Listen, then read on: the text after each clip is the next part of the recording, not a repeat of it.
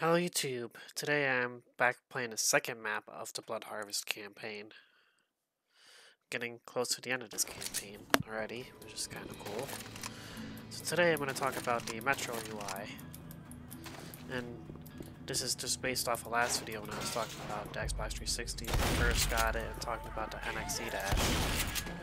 So Metro UI is just so you get a few tabs on the top, and on the bottom you get tiles.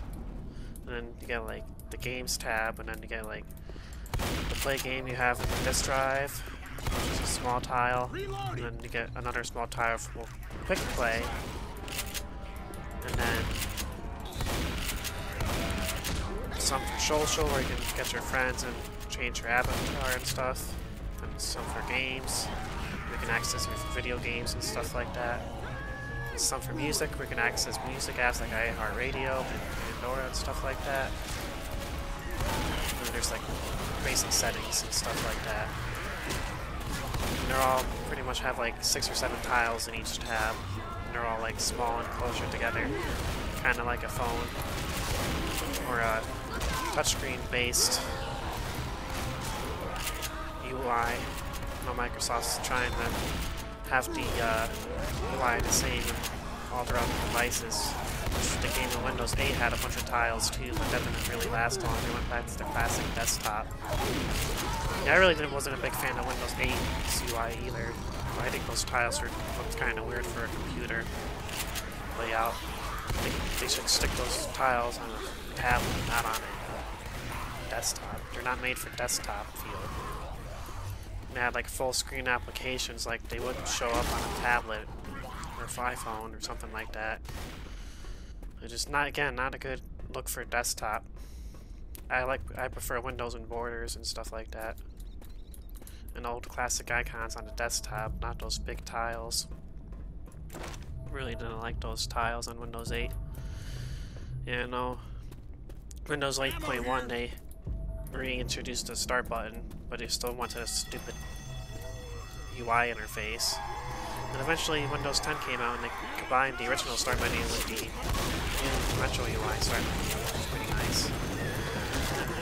Now the default startup is to the desktop and not to that stupid start screen that Windows 8.1 had all the tiles.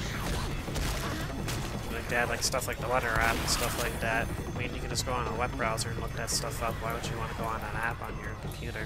do most of that stuff in the web browser.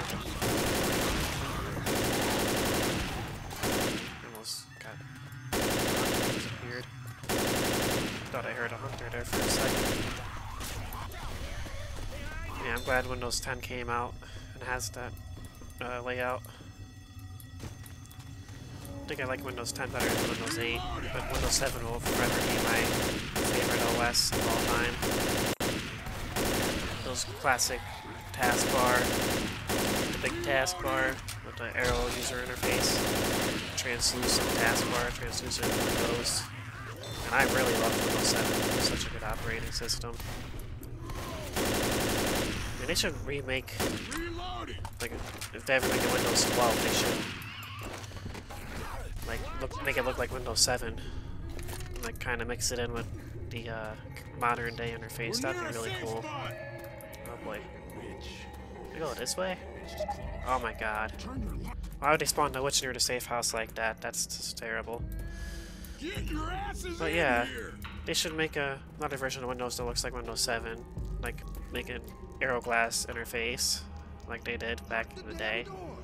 Translucent windows, translucent taskbar, but with new features for 2025 or whenever they want to make a Windows 12. Alright, thank you guys for watching, and I'll see you in the next video. Hell yeah! And please remember to follow my links down below in the description. See you guys later.